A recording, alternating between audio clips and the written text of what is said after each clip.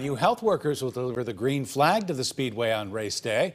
They'll join a former patient in the Lifeline helicopter to make the special delivery on Sunday morning.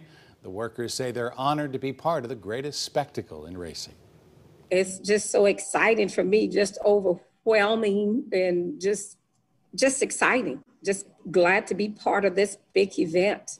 Remember, the tradition to deliver the green flag started in 2013 with former Colts coach Chuck Pagano and a patient at Riley for Hospital for Children at IU Health.